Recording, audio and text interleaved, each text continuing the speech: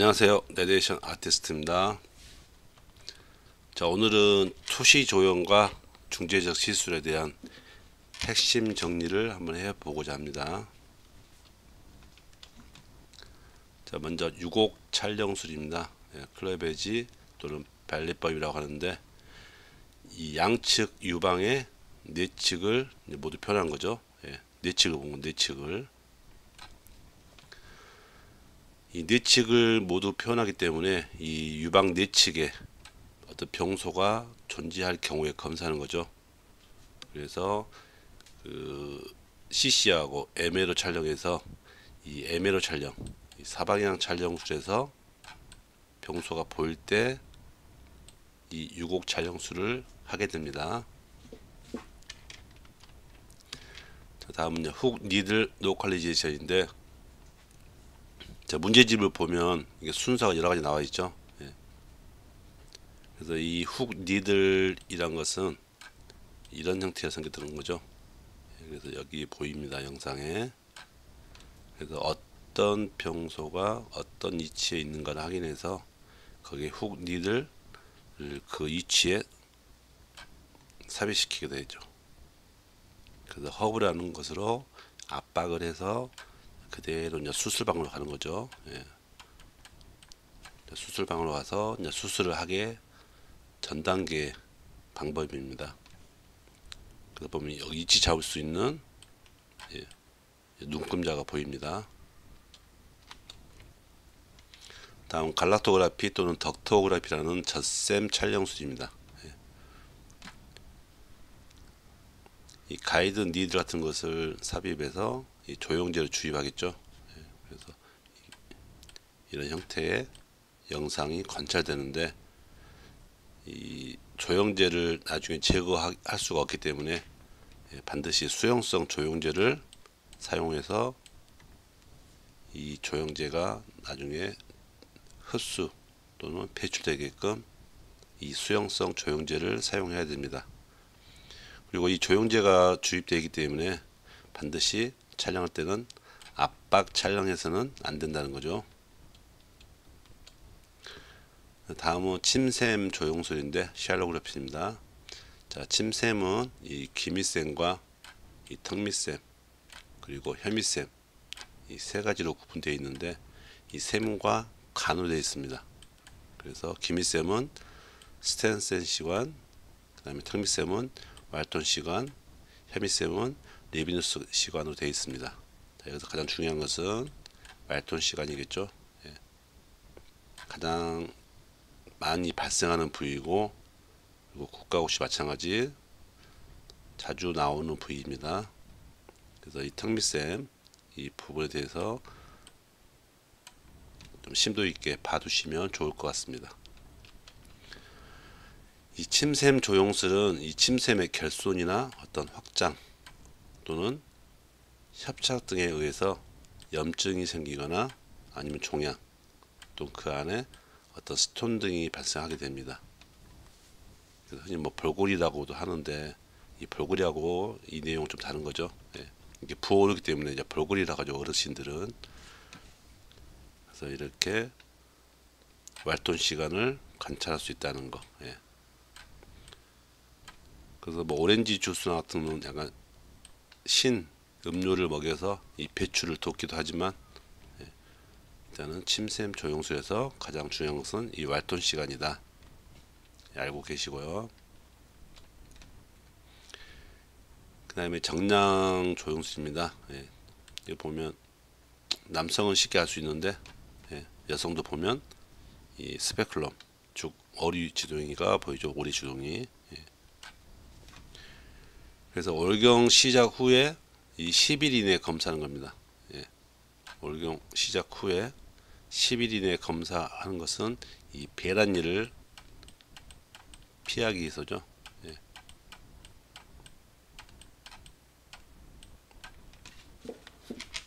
그래서 10대 1 룰이라고 하죠. 예. 히스테로 살핀고그라피 다음은 비노이계 검사 쪽인데요. 먼저 IVP가 있습니다. 자, IVP 같은 경우는 이 비뇨기계통이나 아니면 다른 중재적 시술이나 아니면 조영 검사 전에는 반드시 스카웃 촬영하죠. 이렇게 스카웃 촬영. 예. 자, 스카웃 촬영한 이유는 어떤 병소의 위치 확인한다든지 아니면 전처치 유무를 확인한다든지 아니면 촬영 조건 설정이 제대로 되어 있는지를 확인하기 위해서 스카웃 촬영을 하게 됩니다. IUP는 자 순행성이죠. 경, 정맥성 조영술이기 때문에 조영제를 이 정맥에 주입해서 이 신장 즉 콩팥을 거쳐서 방광까지 어떤 내려오는 시간별 체크입니다. 그래서 또 이것은 네프로시스그라피라는데 밑에 압박을 하게 되겠죠. 압박을 해서 한 5분 또는 10분 후에 이 콩팥에 조영제가 집적되면 촬영을 한 후 압박대를 풀면 이걸 흘러내리고 있죠. 예, 15분 한 20분 예, 그 뒤에 흘러내리는 것을 영상을 볼 수 있고요. 시간별로 체크하면서 예, 이 방광 즉 브레더에 모이는 것을 확인할 수가 있습니다. 실제로 이 방광에 모이기 때문에 이 콩팥에 있는 조영제는 거의 다 밑으로 빠져 있는 상태죠. 자, DIP 같은 경우는 드리핑 인퓨전 피에로그래피라고 해서 좀 다량의 조영제를 많이 사용합니다. 그래서 이 IVP와 DIP 차이점은 조영제 양이다. 그리고 IVP 같은 경우는 이 복부를 압박해서 이 콩팥 촬영을 하지만 DIP 같은 경우는 이 우리 맞는 닌겔처럼 조영제를 계속 주입하면서 촬영하기 때문에 압박이 필요 없습니다. 그래서 지금 현재 콩팥에서 요관으로 그리고 방광에 모이는 15분 상인데 계속 흘러내리고 있죠. 그래서 이 영상을 봤더니 아, 조영제를 많이 사용했구나를 알 수가 있습니다.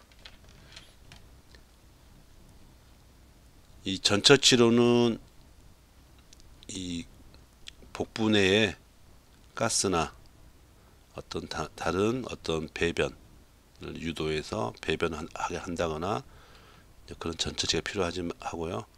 요즘은 이제 조영제가 좀 잘 보이고 어떤 장비의 발달로 인해서 크게 전처치를 바로 하지 않습니다. 네. 하지만 이 전처치를 한다 하면 검사 전날 어떤 생식, 예, 익히지 않는 음식을 먹었을 때는 가스가 많이 발생하기 때문에 이 생식을 금지하고 마찬가지 물을 많이 마시면 또 가스가 많이 발생합니다. 그래서 물도 섭취를 제한시키고 그리고 물 섭취 제한시키는 것의 두 번째 이유는 이 조영제가 희석된다는 거죠. 이 콩팥이나 아니면 소변 쪽에 예, 이런 쪽에 조영제가 섞였을 때 조영제가 희석되기 때문에 수분 섭취 제한하는 게 IVP, DIP에서는 원칙입니다.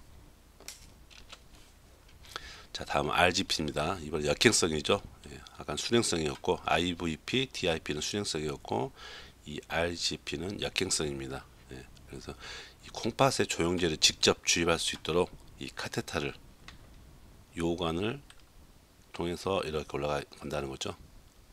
그 그래서 카테타 삽입 후에 촬영 한 장 하고 조영제를 주입 후에 또 촬영 한 장 하고 이 카테타를 삽입한 카테타를 제거하면서 또 한 장 촬영하고 그래서 루틴 체크는 이렇게 카테타 삽입 후에 또는 조영제 주입 중에 그리고 카테타를 제거 후에 체크하게 되어 있습니다. 다음은 이제 PAG 또는 AGP라고 해서 경피 콩팥 천자 수량이 있는데 직접 천자에 의한 검사 방법이죠. 니들 보이죠? 예. 직접 천자에서 조영제를 주입하면 예, 조영제가 흘러내보이겠죠. 그래서 어느 일정 부위에서 스톤이라든지 어떤 어떤 병변이 있었을 때 폐쇄된 위치에서 조영제가 더 이상 흘러 내려가지 않겠죠. 그래서 이 AGP는 이 선행성입니다. 예, 순서대로 이렇게 내려간 거죠. 역행성 아니죠. 예. 직접 천자에 의한 선행성 검사 방법이죠. 그 여기 보면 PCN 전에 검사를 시행한다 했는데 이 PC 같은 경우는 당연히 이렇게 폐색이 돼 있다 하면 예, 소변 배출이 될 수가 없기 때문에 인위적으로 밖으로 배출시키겠죠. 예. 그래서 내류법으로 하면 이렇게 인공 요관을 집어넣는 경우도 있고요. 아니면 이 바깥으로 체내로 밖으로 빼는 거죠. 이렇게 외류법이라고 하죠. 예, 밖으로 뺄 수 있는 방법. 그래서 이 소변이 밖으로 배출될 수 있도록 만들어준 방법을 이 PCN이라고 합니다. 자, 그 다음은 시스토그래피냐, 시스토 유레스로그래피냐는 이 영상을 보고 판단하지 특별히 검사 방법이 정해져 있는 것은 아닙니다. 이게 역행성으로 조영제 주입 후에 방광을 채워서 보는 것은 시스토그래피겠죠. 아니면 이 조영제를 주입하는 과정 중에 요관을 검사할 수 있는 유레스라그래피도 있고요. 아니면 배설하면서 검사할 수 있는 예, voiding cystography도 있, 있을 거고요. 예. 그래서 특별하게 정해진 건 아니니까 영상을 보고 방광이 꽉 차 있다.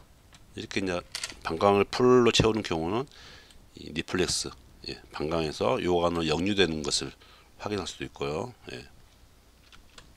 다음 chain cystourethrography인데 출산 경험이 있는 여성의 이 긴장성, 요 실금증을 검사하기 위해서 검사하죠. 그래서 체인이기 때문에 우리 흔히 말하는 군번줄이 보입니다. 예, 체인 시스토그래피. 다음은 소파오그래피인데 식도 조영술. 예. 자, 포지션은 RAO 포지션과 LAO 포지션. 예. 뭐 AP나 나타도 촬영하겠지만 자, 특별하게 봐줄 부분이 RAO, LAO 포지션입니다. 자, RAO 포지션은 이 심장과 이 척추 사이에 있는 홀츠 케네츠강을 잘 관찰하기 위해서 검사합니다. 그리고 식도 전체 윤곽과 아니면 식도 상부에 있는 에어타죠. 큰 동맥 활에 의한 압박상을 관찰할 수 있습니다. 자, 다음은 LAO는 마찬가지 식도 전체를 볼 수 있지만 이 아래쪽 그 들문 쪽에 이 가로막 아래 있는 식도를 관찰할 때 검사하겠죠. 예. 그다음에 upper GI, 예, UGI라고 하죠. UGI 같은 경우는 이 단일 조형 검사 방법이 있고 이중 조형 검사 방법이 있는데 단일 조형 검사에서는 이 점막의 병소를 진단하기 위해서 이 압박 기구를 사용해서 압박을 주면서 검사하는 방법이죠. 즉 충만상이었습니다. 충만상. 예. 바륨을 채워서 압박을 가하면서 검사하는 방법이고요. 자, 이중 조영 검사는 이 double contrast media에서 이 바륨과 발포제를 사용해서 이 팽창시키겠죠, 위를. 그래서 미세 병소 관찰하고 아니면 위 점막의 주름이 좀 더 자세히 펼쳐 보일 수 있다는 거죠. 그다음에 HTD에서 저긴장성 샘 창자 조영술인데 이 샘 창자는 계속 그 운동을 하기 때문에 자 일시적으로 마비시킵니다. 뭐 부수코판 같은 것을 예, 투여해서 일시적으로 마비시킨 다음에 이 샘 창자가 두배 내지 또는 세 배대로 확대되면 이자 머리 부위에 어떤 이상이 나타난다고 해서 이렇게 검사하는 방법이죠.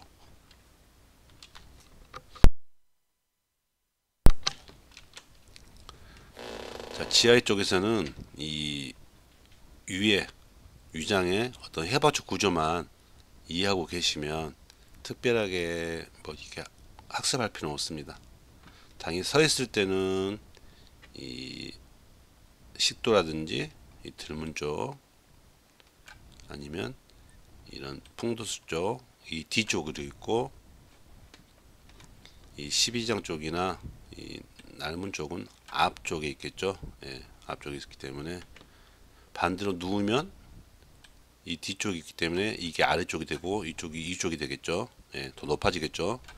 그래서 이 발음 자체는 액체이기 때문에 높은 데서 낮은 데로 이동을 하게 되고 이중 조형 검사할 때는 공기는 당연히 낮은 데서 위로 높은 쪽으로 이동하겠죠. 예, 그 원리만 잘 이해하고 계시면 수토막증 어려운 점이 없습니다. 그래서 여기 독특한 수면상이 보이죠? 그럼 당연히 서서 촬영한 거죠. 이렉트. 자, 봤더니 이 풍도수 쪽에는 이중 조형이 되어 있고 나머지 부분은 충만상 되어 있어요.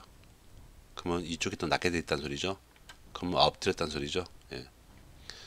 예. 자, 이 부분도 보니까 이 풍수 쪽에는 충만되어 있고 나머지 부분은 이중 조용되어 있어요. 그럼 반드시 누웠기 때문에 이런 쪽이 이렇게 흘러 들어가겠다는 소리죠. 마찬가지죠. 왼쪽으로 살짝 몸을 LPO 자세로 튼 자세고 얘는 RPO 예. 풍도수가 비어 있죠. 오른쪽 옆으로 누웠기 때문에 당연히 이 풍도수가 높아지겠죠 이번에는 그래서 이쪽은 이중 조용되고 밑에 충만상이 되는 거죠. 얘도 마찬가지 LPO 상태에서 유문동을 관찰하는 예, 또는 12장 쪽 샘창자를 관찰하는 방법이고요. 자 이것도 마찬가지 마지막 영상과 비슷한 거죠. 서 있기 때문에 당연히 아래쪽으로 조영제가 모여 있고 위쪽은 이중 조용이 되어 있죠. 그래서 이렇게 충만시켜서 이런 이게 압박을 한 기구 음영이 보입니다. 자, 이 내용만 잘 이해하고 계시면 UGI 쪽은 오히려 쉽습니다. 그래서 mucosal relief method에서 점막법 또는 박층법이라 하죠. 그래서 발포제에 의한 이 stomach의 왜곡이 없이 점막을 관찰할 수 있는 방법 또는 이 프롬 컴프레션 엎드려서 압박을 주는 방법을 같이 사용할 수가 있습니다. 단점 뭐냐면 이 전벽과 후벽이 구분이 모호한데 사실상 반드시 누운 상태에서 압박을 준다 하면 전벽이 아니라 아무런 의미가 없는 검사 방법이 되겠죠. 그래서 이 GI에서 가장 중요한 점은 이 전벽을 어떻게 검사할 것이냐가 중요합니다. 그래서 전벽을 검사하기 위해서는 배 복부 쪽에 예, 압박 기구를 놓고 엎드려서 압박을 줌으로써 전벽을 관찰할 수 있겠죠.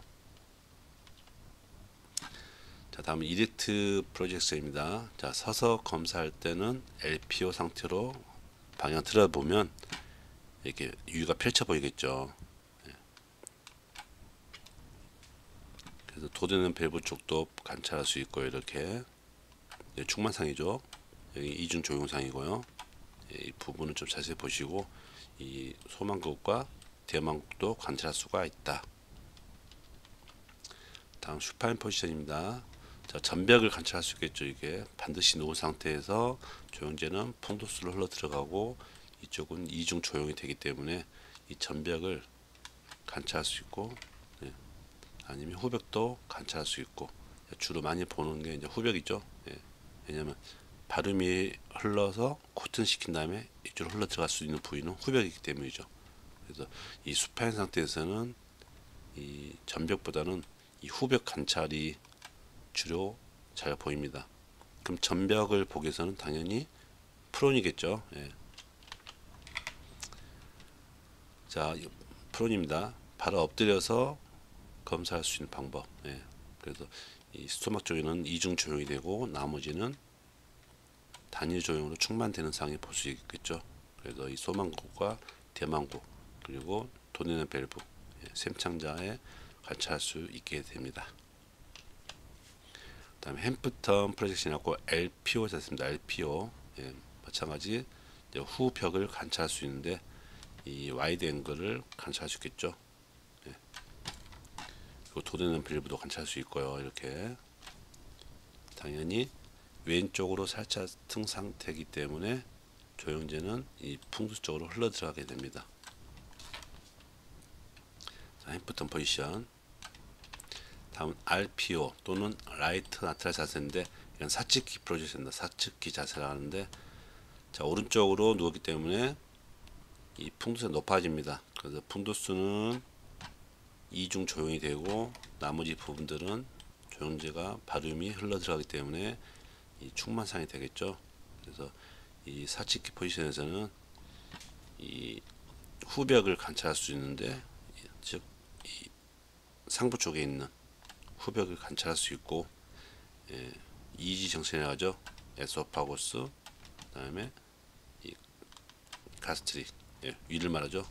그래서 이 부분이죠. EG junction을 관찰할 수가 있습니다. 다음은 supine position인데 전체의 후벽을 관찰할 수 있다는 거. 예, 자세 쓰다 보면 이 조영제가 이렇게 바륨이 이렇게 이동합니다. 이동하면서 코팅 시켜서 이 점막을 관찰하는 거죠. prone double contrast method라고 해서 예, RAO position을 취한 다음에 이 테이블 즉 head down 시킵니다. 자, 이 이유는 이 전벽을 관찰하기 위해서 이 포지션 취하는 거죠. 예, 그래서 Trendelenburg을 해가지고 머리를 아래로 한 자세. 그래서 이 전벽을 관찰하는 방법. 그래서 prone에서 복부 쪽에 압박 기구를 놓고 압박을 해서 검사를 한다. 아니면 이게 prone double contrast method. 예, 이 자세로 해서 head down으로 전벽을 관찰도 한다. 예, 이 방법. 그래서 이 전벽을 관찰하는 방법이 이 GI에서는 가장 중요하다고 할 수 있겠습니다. 다음은 이제 small bowel series에서 작은 창자 조형술이죠. 자 먼저 경구법. 자 입으로 바륨을 투여한 한 후에 이 대장까지 도달하면 이 검사 방법이 끝나는 경구법이 있고요. 그다음에 고위 관장법이 있죠. 예.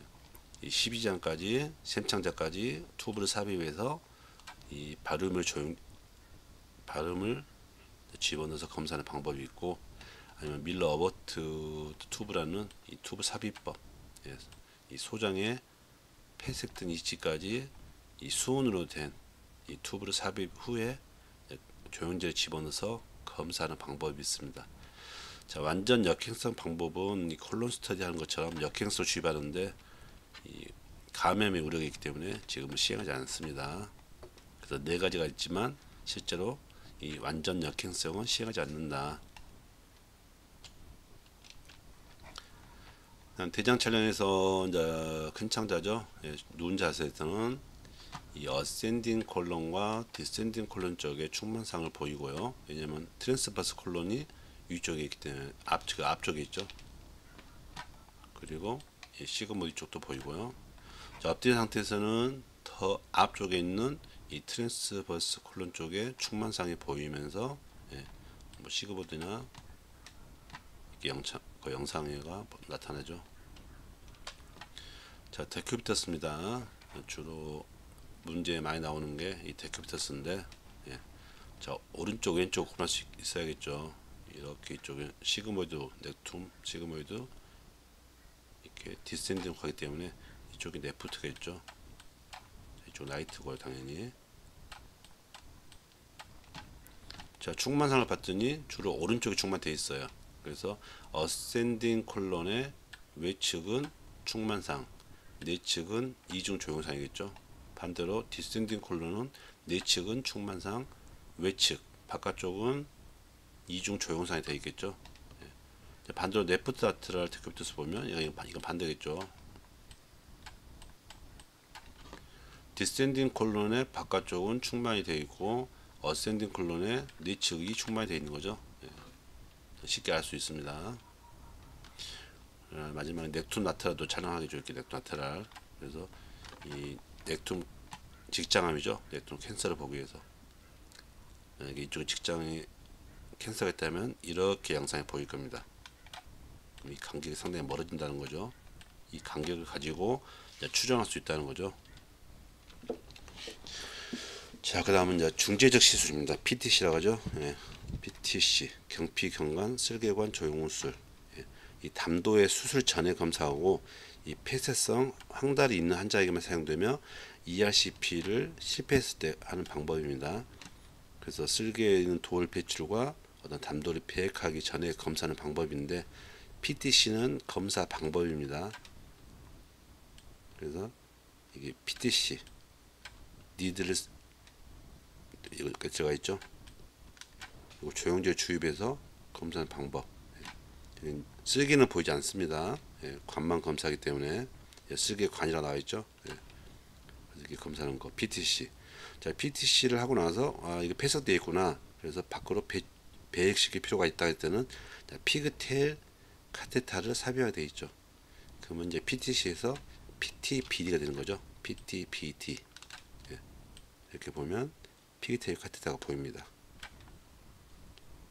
그래서 3게이츠 배의 목적으로 나타나는 거죠. 그래서 카테타 삽입한 거 피그테일 카테타 삽입 이때는 PTC에서 이제 PTBD가 되는 거죠. 예. 그다음에 OPC라고 해서 이제 수술 중에 검사하는 방법입니다. 수술 중에 검사하는데 이런 수술 도구가 여러 가지 보이겠지만 실제로 국가고시 영상에서는 이제 보여주지 않을 때도 있어요. 예. 그래서 조영제를 주입하니까 어때요? 가지도 잘 보이고 이렇게 샘창자도 보인다는 거죠. 예. 샘창자 보이죠? 또 선명하죠. 직접 주의하기 때문에 그래서 이 수술 중에 슬개관 조영수란 것을 OPC라고 합니다. 자, 그 다음은 포스트 OPC 수술 후에 검사하는 건데 자, 수술 중에 T튜브라는 것을 삽입시켜놔요. 그래서 T튜브 삽입 후에 한 보름 정도, 15일, 15일 정도, 2주 정도 지난 후에 관이 잘 통하고 있는가를 확인하기 위해서 검사하는데 이 조영제를 이 관을 통해서 주입하죠. 조영제 주입할 때는 반드시 주의할 점은 이 관에 있는 에어를 제거해야 된다. 예, air로 인해서 돌이, 돌이 남아있는 쓸개 돌이 남아있는 것처럼 보이기 때문에 반드시 air를 제거하고 조영제를 주입한다. 예, 그래서 이렇게 T-tube 형태 보이죠? 예, 이렇게 보이고요. 수술 후에 예, 쓸개관 조영술이죠. 예, 그래서 post OP시라고 합니다. 다음은 ERCP죠. 내시경을 하면서 예, 쓸개와 이자관 조형 검사하는 거죠. 예, ERCP라 합니다. 이 배설성 조형 방법으로는 쓸개관을 검사하기 어려울 때 이게 내시경을 이용해서 검사합니다. 내시경 보이죠? 내시경 보이면서 조형제 주입한 것도 보이죠, 이렇게. 자, 직접 주입하기 때문에 쓸개도 관찰 가능합니다. 이 쓸개 음영 보이죠? 예. 이해하시피 자 다음은 EMBD입니다. EMBD 자, 이 내시경적 경비적 담적 배수라는데 자 EMBD는 이 내시경과 이 경비단관 배액관을 같이 이용합니다. 이 코로 들어가겠죠. 예, 이 관이 그래서 이 폐색되어 있는 쓰레기즙을 이 경비적으로 배출시킬 방법 즉 이 코로 빼내는 방법이기 때문에 external drainage 즉 내, 외류법이죠. 외류법 외류 바깥쪽으로 빼기 때문에요. 그래서 이 쓸개즙을 배액시킴으로써 이 폐색성 황달 환자에게 어떤 감황시키기 위한 방법이고요.